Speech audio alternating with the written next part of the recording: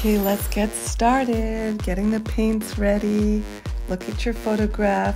Now I'm painting over an old canvas. This is fine. Just sketch out your design. You can also do it completely abstract and just add dots in a harmonious color scheme. Here we go with the background. Just completely fill in the background so that you have solid color. You can see it's building up, different shades of green in the back. Use a large brush and hold it close to the end and just go around filling in all of your background.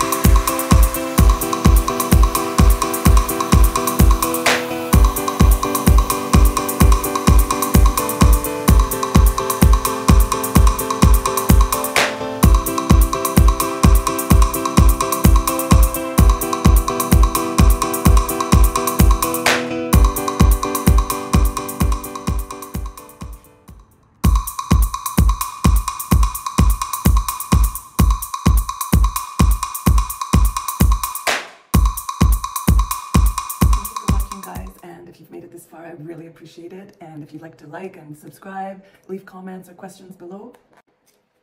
Bonus here, tiny little bit of extra information about each of the DIYs.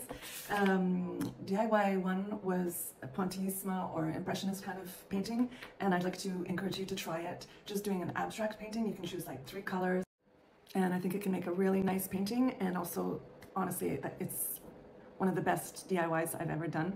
I actually spent a lot of time doing it, and while I was doing it, something really strange happened, so that's why this DIY is one of my most absolute favorites. I actually like went into some kind of flow where I totally lost track of time. I um, didn't even know that lunchtime had passed and I wasn't even feeling hungry. I was just like totally nourished by this project. So I totally encourage you to try it. It was just so relaxing and just the endomorphines after were just like, wow, I want to do another one another time as well. So let me know if you've tried it and um, hope that it inspires you. So, this got me absolutely intrigued about how flow state works and the positive impact it has on our life, health, productivity, and our well being. Even if you've never heard the word before, some people call it being in the zone, in the groove, or losing track of time. In flow, you feel as if you could keep doing whatever you're doing forever. There's no one single experience that leads to flow. It could happen while you're reading, writing, painting, running, gardening. The topic of flow has me so intrigued that I think I'll make another video about it. So let's get back on topic. Second DIY I did with the Provençal landscape. I'm not a huge uh, fan of loud colors inside our home. It's very minimalist, whites, beige, all that. So this was kind of pushing me a little out there, but I did it for my son because he wanted to add a little bit of color to his apartment. And then the last DIY on this video was just absolutely fun again. This yoga mat collage I also made um, in order to add a pop of color to my son's apartment in Paris, and it turned out really fun. And so I, I, did enjoy it in the end. It was fun, and I hope that you will try it as well, or something similar. Thanks again, really appreciate it, and we'll see you soon.